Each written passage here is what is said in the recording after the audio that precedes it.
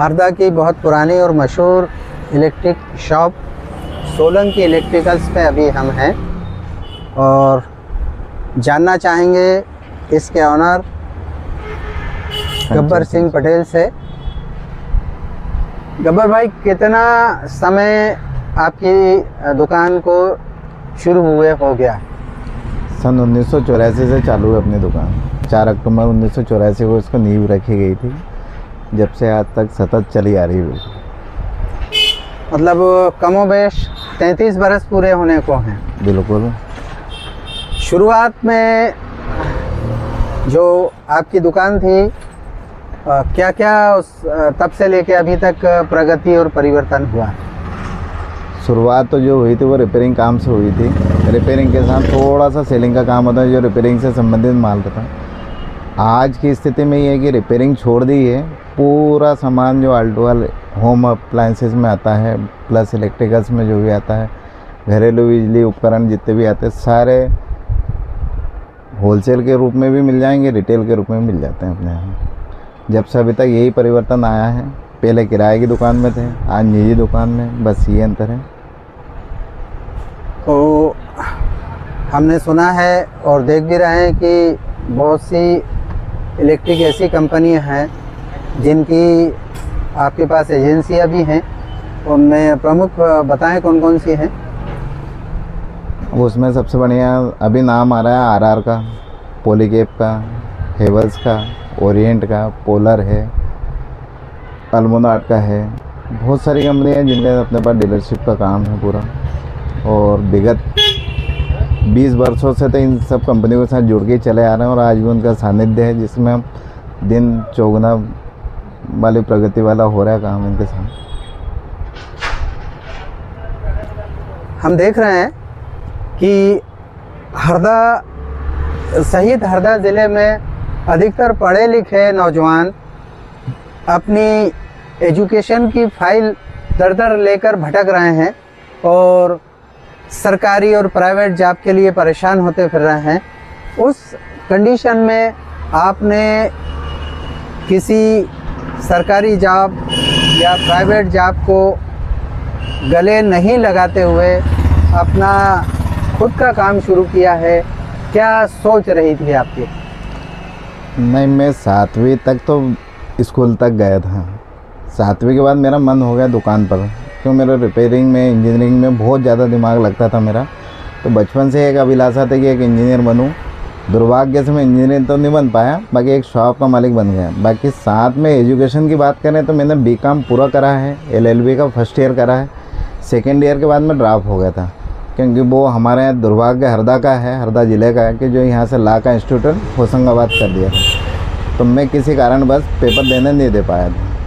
एक पेपर दे के आया था, दूसरे पेपर में फिर मेरी इच्छा नहीं हुई तो वहाँ से फिर जो सिलसिला बिगड़ा तो वो आज तक कायम रही बात एजुकेशन की तो एजुकेशन हर व्यक्ति ने करना चाहिए। पढ़ाई ज़रूरी होती है, ज्ञान सबके लिए ज़रूरी होता है। रही बात अपनी इच्छा के अनुसार सबने काम करना चाहिए, जिसकी जहाँ दिलचस्पी है, जिस भी विभाग में हो, वो काम सब ज़रूर करना चाहिए। अपन किसी भी सरकारी योजना या सरकारी डिपार्टमेंट में जाएँ तो उसके लिए ज़रूरी नहीं कि अपन को नौकरी ही मिलेगी या सरकारी अपने साथ कुछ करेगी, अपना निजी व्यवसाय भी कुछ भी कर सकते हैं आप। जिसमें आपकी दिलचस्पी उसको चाँद तक ले जाओ, कोई तकलीफ़ नहीं उसमें। बस ये है। जैसा कि हम देख रहे हैं कि इन्होंने खुद की शॉप तो शुरू की है और कई युवाओं को भी अपने यहाँ पर रोज़गार दे रखा है और उन सभी से इनका व्यवहार भी जो होता है वो मालिक और नौकर जैसा नहीं होता है। उसमें भी एक बात कहूँगा यहाँ पर अब बात इन्होंने छेड़ी कि हम युवाओं को रोज़गार देना चाहते हैं।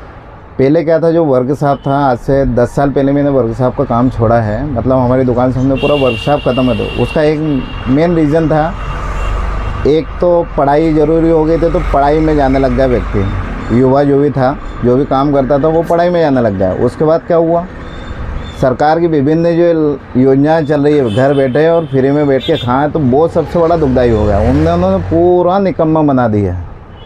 अब निकम्मे बनने के कारण क्या हुआ? उनको कोई काम में ही नहीं। और मेरा ये मानना है कि यदि यही कंडीशन रही तो आने वाले 10 से 15 साल में अपन कहीं के लायक नहीं रहेंगे पूरा देश भर कोई काम करने वाला ही नहीं मिलेगा।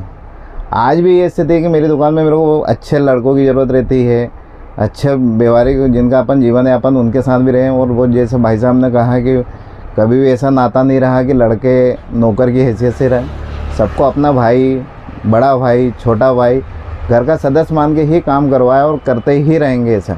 ये मेरी सोच है। और मेरे कारण यदि किसी दस परिवार पल रहे हैं तो मेरे से बड़ा सौभाग्यशाली कोई व्यक्ति नहीं होगा। मेरी सोच यूँ है। मेरे कारण यदि एक घर टूटता है तो वो गलत होता है। तो वो नौकर में होता है, न कि घर के सदस्य में होता है। तो घर अच्छा रहेगा तो संपन्नता आएगी। बहुत बहुत धन्यवाद गब्बर सिंह आपका एक मोटिवेशन युवाओं के लिए आपकी बातों से मिला है और निश्चित ही आज का बेरोजगार युवा जो है नहीं, उसमें भी एक प्रेरणा लेना चाहिए। एक चीज़ और कहना चाहूँगा मैं पहले क्या था आज से पंद्रह साल पहले काम सीखने के लिए पैसे दिए जाते थे। आज काम सीखने के लिए पैसे नहीं दिए जाते, काम करने के लिए पैसे दिए जाते हैं। पहले काम सीखने के लिए पैसे दिए जाते थे और आज काम सीखने के लिए, सीखने के लिए नहीं ले रहे हैं, वो खुद काम करने के लिए पैसे ले रहे हैं। उसके बाद भी काम नहीं दे मतलब सबसे बड़ी बात यह है कि काम तो होना ही चाहिए और सरकारी या किसी भी डिपार्टमेंट में जाएगा तो अच्छा लगेगा। प्रैक्टिकल अनुभव अलग रहता है थ्योरिकल अनुभव अलग रहता है। आज आपने आई कर लिया या कुछ भी इंजीनियरिंग कर ली तो उसको उतना ज्ञान नहीं रहता जितना एक जगह काम करता है। अब एक गाड़ी मैकेनिक के पास जाएँगे तो उसका अनुभव अलग रहेगा और पुस्तकों में गाड़ी का अनुभव लेंगे तो वो उसका अनुभव अलग रहेगा।